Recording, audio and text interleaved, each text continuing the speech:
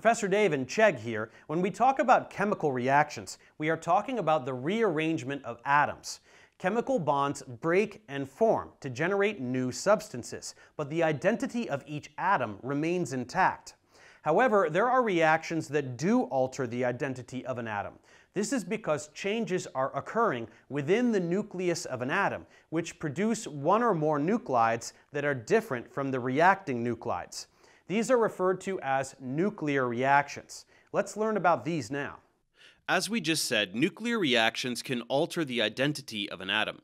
This is because the identity of the atom is determined by the number of positively charged protons in the nucleus.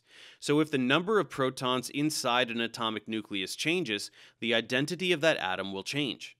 Neutrons are of neutral charge, so although only the protons will determine the atomic number of an atom, the protons and neutrons, collectively referred to as nucleons, both contribute to the mass number of an atom, which is equal to the number of nucleons in the nucleus and is expressed in atomic mass units.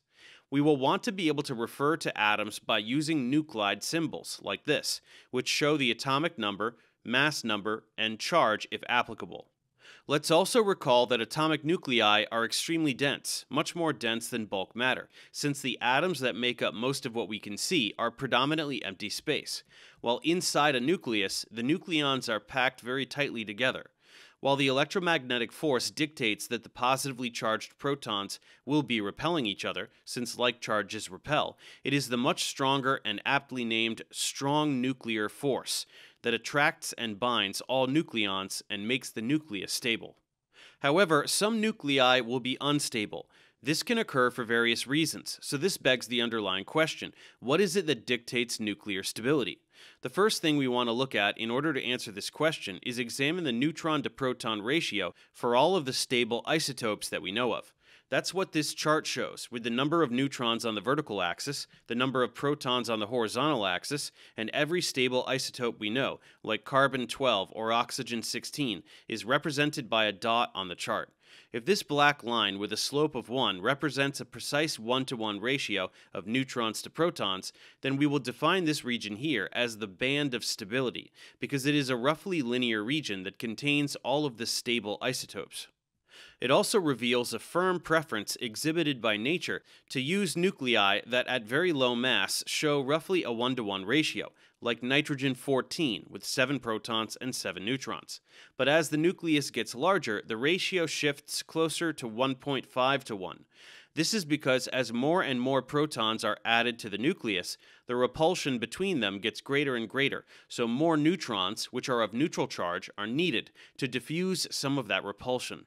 In addition to this preferred ratio, we can see that nature prefers to have both protons and neutrons present in even numbers, as 157 out of the total 265 have even numbers of both, and only 5 of these nuclei have odd numbers of both protons and neutrons.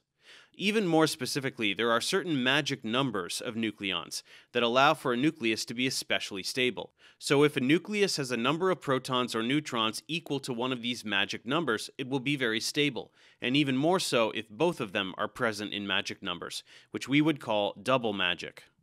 So which nuclei are the most stable? Let's look at a chart that plots the binding energy per nucleon against the mass number. That means the average force holding together every particle inside a particular nucleus.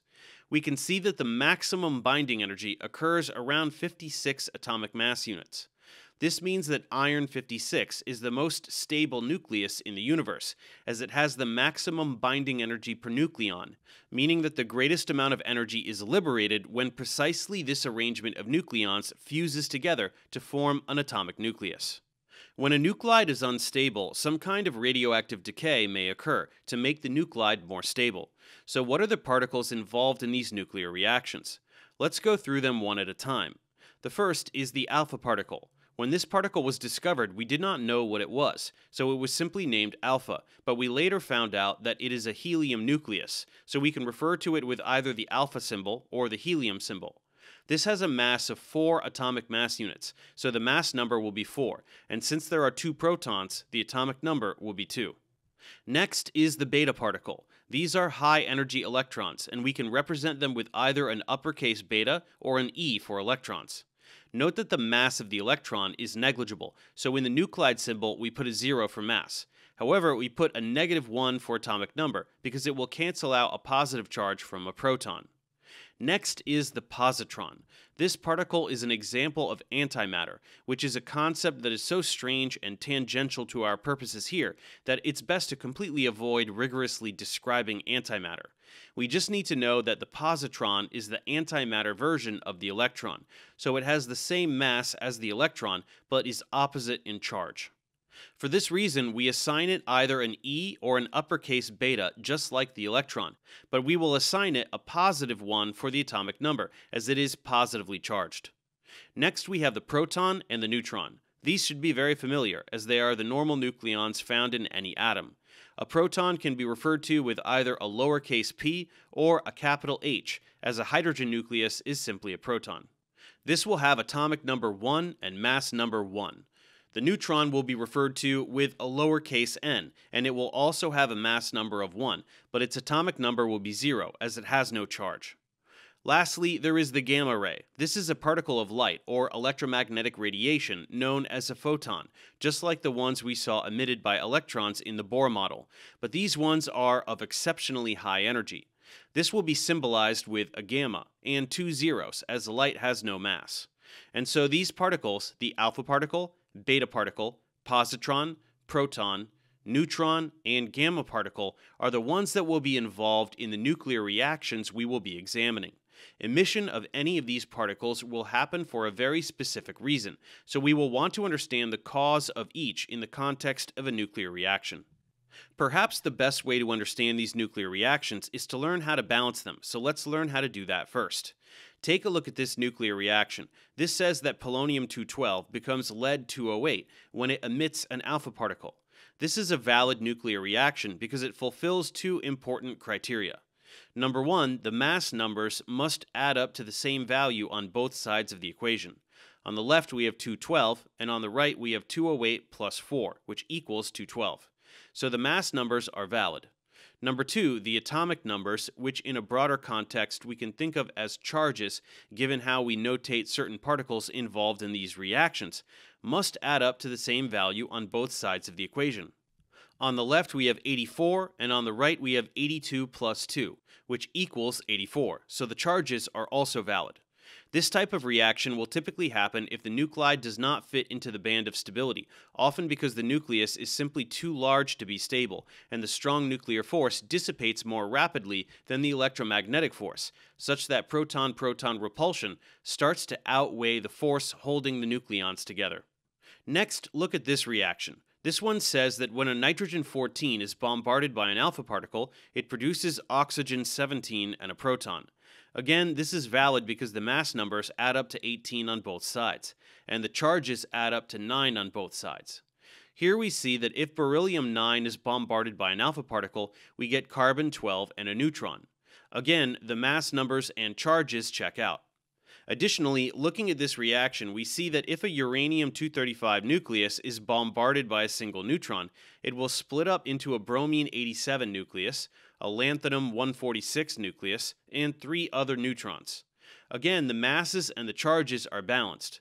So remember that when writing nuclear reactions, we need both the mass numbers and charges to add up to the same value on both sides of the equation, just like these four examples. Let's try one example to make sure this makes sense. If magnesium-25 is bombarded by an alpha particle, it will produce a proton and some other nucleus X with mass A and charge Z.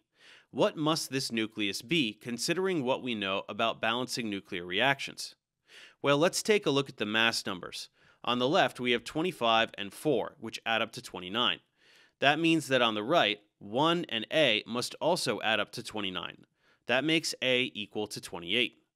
Then for the charges, on the left we have 12 and 2, which add up to 14.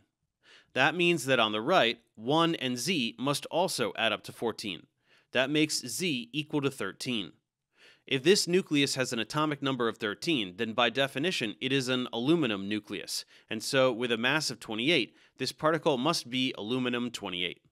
So we've already begun to see some of the types of radioactive decay, Alpha decay, as we saw, will occur when a nucleus like this one, polonium-210, is simply too large.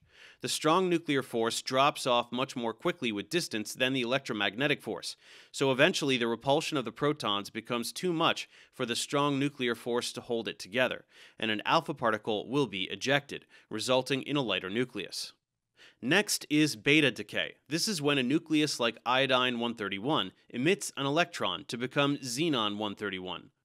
The reason this occurs is because a neutron is converted into a proton. This electron is not one of the electrons surrounding the nucleus. It is a completely different electron emitted during this transformation. This is a kind of decay that can occur if the neutron to proton ratio is too high, meaning too many neutrons and not enough protons. Changing one neutron into a proton will stabilize this kind of nucleus. Next will be positron emission, and we can see here oxygen 15 emitting a positron to become nitrogen 15. This is essentially the conversion of a proton into a neutron, and it will occur if the neutron to proton ratio is too low. The conversion of a proton into a neutron will help balance this ratio. Next, there is electron capture. Just the way emitting an electron changed a neutron into a proton, the capture or absorption of an electron will change a proton into a neutron. Again, this kind of decay will occur when the neutron to proton ratio is too low. Lastly, we have gamma emission. This will occur when a nucleus is in an excited state. It can decay to its ground state by emitting an extremely high energy gamma photon.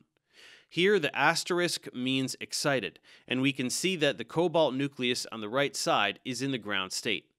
This is the only kind of nuclear reaction in which the parent nucleus does not change from one element to another. This chart summarizes the types of decay we just discussed. We can see that there are three main causes for nuclear decay. If the nucleus is too large, alpha decay might occur. If the neutron to proton ratio is either too large or too small, this can be adjusted by beta decay, positron emission, or electron capture and if the nucleus is excited, it can reach the ground state through gamma emission. This must seem like a totally new concept, a reaction where an atom can change from one element to another. But these nuclear reactions are important to understand, so let's check out some applications of these next. Professor Dave for Chegg. See you next time.